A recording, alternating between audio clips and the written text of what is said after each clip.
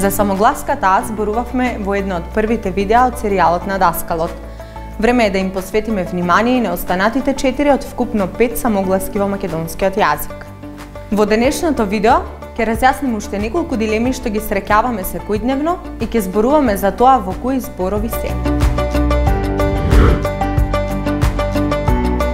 За следниве зборови сигурно сте имале погрешна слика. Не е босилок, туку е босилек. Не е 200, туку е 200.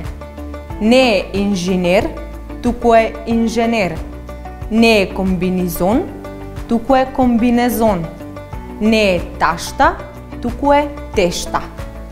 Следен пат кој ќе се двумите дали треба вака или онака, а правописот не ви е прирака, тогаш вклучете си го повторно видеото за да ве подсети.